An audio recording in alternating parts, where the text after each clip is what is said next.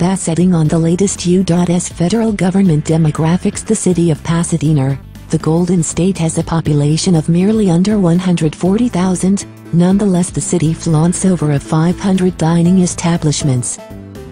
Pasadena has a wealth of shopping mall, shops, stores, cinema, art galleries, galleries and plumbers in Pasadena.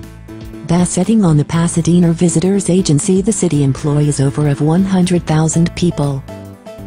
Due to the foregoing the city holds an extraordinarily large number of bistros, coffee house, convenience food spots and specialty bistros.